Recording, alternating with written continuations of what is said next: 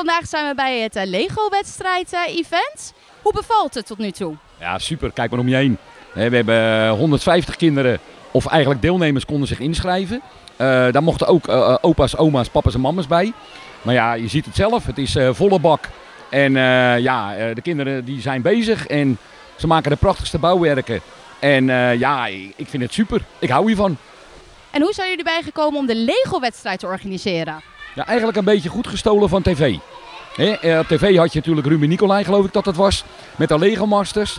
En toen gingen we erover nadenken, zouden we dat zelf kunnen organiseren? Nou, dat kan je gewoon niet. Daar moet je gewoon een bedrijf voor inschakelen die dat allemaal heeft.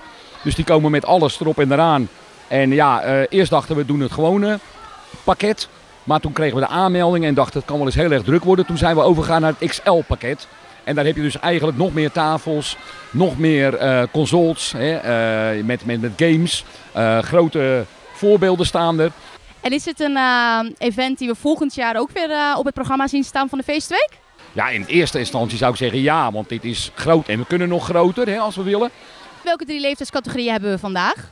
Nou, we zitten tussen de echt jongere kinderen, dus dan hebben we het over 3 tot 6 à 7. En dan gaan we van 7 tot 12 en 12 plus. Hoe gaan jullie bepalen wie de winnaar gaat zijn? Nou, we hebben drie prijzen en uit elke leeftijdscategorie kiezen we er eentje. Uh, en dan gaan we kijken naar welke het mooiste is en welke het origineelste is vooral. En wat kunnen ze winnen? Het heeft te maken met Lego.